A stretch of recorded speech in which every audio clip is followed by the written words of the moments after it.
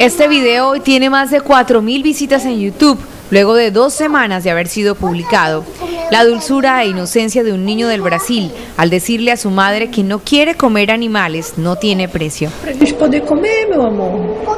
Morrem.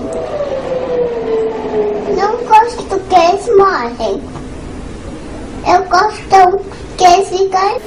Son tan insistentes sus porqués y sus argumentos al querer comprender el consumo de animales que su madre termina cediendo ante su inocencia y su dulzura. Tá certo, meu filho.